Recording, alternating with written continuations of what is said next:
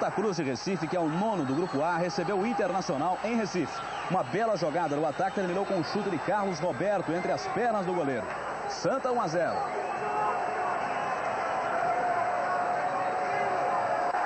Atenção, eu chamo sua atenção para a beleza da jogada de Anágio. Um golaço, é não é? 2 a 0 Santa Cruz. Atenção para outro golaço do Santa. Marlon que mata no peito antes do chute e depois manda ver. Olha lá. Santa 3 a 0.